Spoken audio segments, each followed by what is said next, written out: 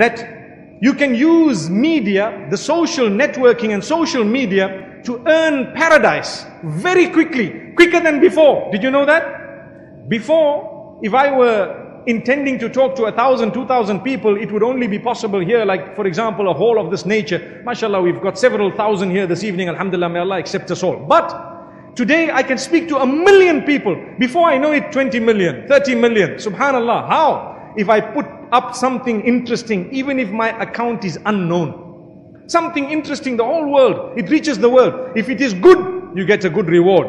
If it is bad, your sin is multiplied.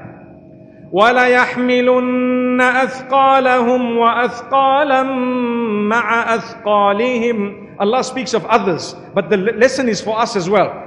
They will hold the burdens, their own burdens on the day of judgment. And the burdens of many others, they will hold them on their own shoulders. So one reads the Quran and says, is there no contradiction here? The contradiction being one place Allah says you will never shoulder the burden of another. And in this verse Allah says people will be holding burdens and the burdens of others. It's a simple explanation. You never ever hold the burdens of others unless you are connected to that burden. Unless you were a person who caused that, then you are responsible. So this is why we say, may Allah forgive us, how you use your Facebook is very important and how you use WhatsApp is extremely important. Whatever else it is. Nowadays there are so many different platforms. I can, if I were to read them, we'd be here for one hour. And I still wouldn't have made justice to it or done justice to it. So whether it's Viber or WhatsApp or Telegram or anything else, you know, Skype or Tango or Mango, whatever else it is. we need to be responsible because the, the people are divided into several categories.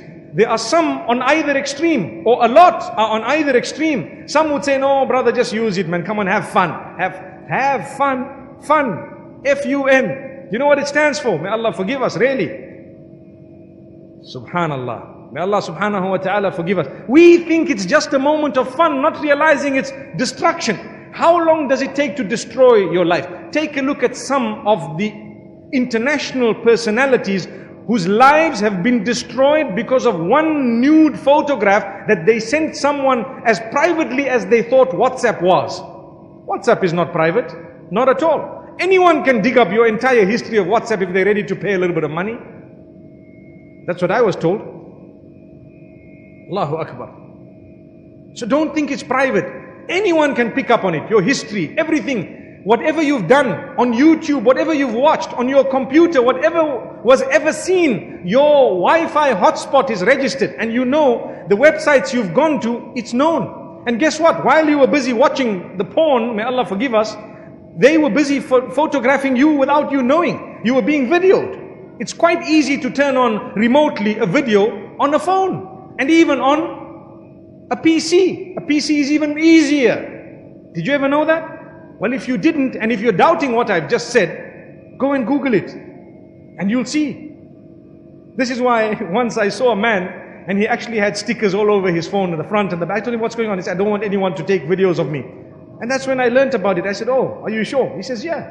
Okay, that might be another extreme. But at the same time, we've got nothing to hide. We should never be people to hide. People who have something to hide. We should never be people who have something to hide. I've got nothing to hide. If you want to search, you search and you carry on and you go for it. Allahu Akbar. But take a look at how some top personalities have dropped. I'm sure you've seen the news of late.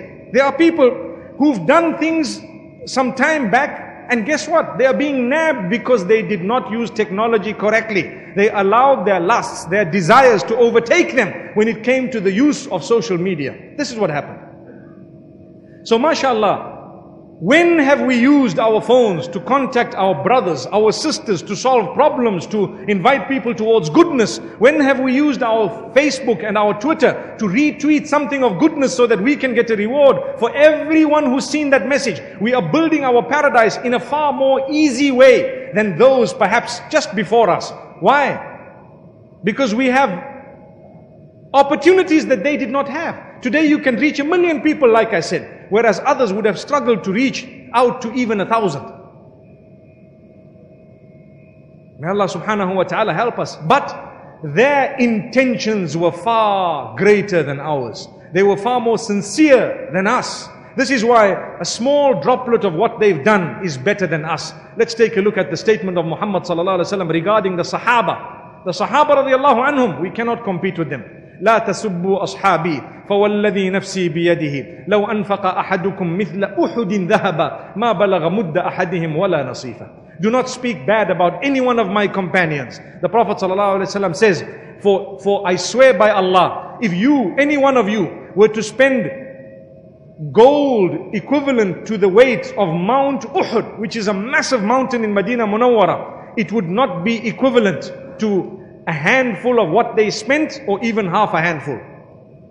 It's the sincerity, it's the timing, and everything that Allah intended. The value was far greater. But Allah has blessed us with opportunities. Use the opportunities. Your mobile phone will bear witness for you or against you on the day of Qiyamah. So use it in a way that you will be proud of it coming up and saying, this, I was only used by this man or this woman to spread goodness and to do something good.